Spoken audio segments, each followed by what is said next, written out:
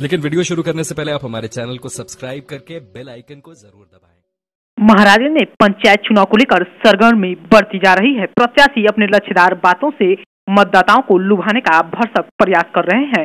तो वहीं इस चुनाव में राष्ट्रीय दलों ने भी कूदकर चुनाव को और भी महत्वपूर्ण बना दिया है। इसका सीधा फ़ायदा ज़िले के बड़े और कद्दावर नेता साफ़ उठाते देखे जा रहे हैं, जिनके पीछे प्रत्याशी टिकट लेने के फिराक में घूम घूम कर पानी की तरह पैसे बहाते दिख रहे हैं। पर दो राष्ट्रीय दलों ने अपना उम्मीदवार घोषित कर कई बड़े नेताओं के दांत खट्टे कर दिए हैं।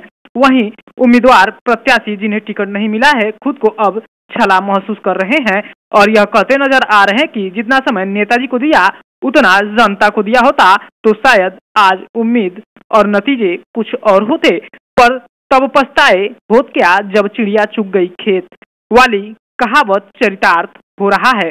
पर अब प्रत्याशी सबक ले खुद को संभाल कर कमर कसते नज़र आ रहे हैं और अपनी ऊर्जा को अपने क्षेत्र में फोकस कर रहे हैं। फ़िलहाल सभी प्रत्याशी अपने दमखम से चुनाव पर फोकस हैं और विजय प्राप्त करने के हर दाव पेच की ज़ोर आजमाइश करते नज़र आ रहे हैं। आने वाला समय तय करेगा प्रत्याशी कौन जीतता है और कौन हारता है। फ़िलहाल महाराजगंज से सुने हमारे संवाददाता मोहम्मद आलम की जुबानी, पंचायत चुनाव पर सीट के बंटवारे की पूरी कहानी। राजगंज में एक तरफ़ भाजपा ने तो दूसरी तरफ़ सपा ने जारी किया जिला पंचायत पद के उम्मीदवारों की लिस्ट।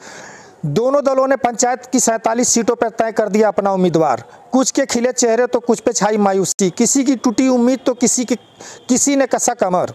दो मई को खुलेगा किस्मत। किसके गले पड़ता है हार और किसके सर पे सस्ता है ताज? यूपी के जनपद महाराजगंज से मोहम्मद आलम की रिपोर्ट।